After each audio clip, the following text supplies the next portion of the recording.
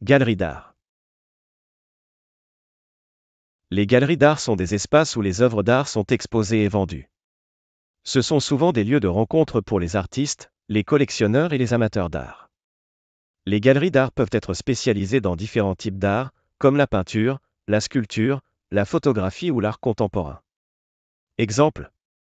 La galerie d'art Gagosian à New York, qui expose des artistes contemporains de renom comme Jeff Koons, Damien Hirst ou Takashi Murakami.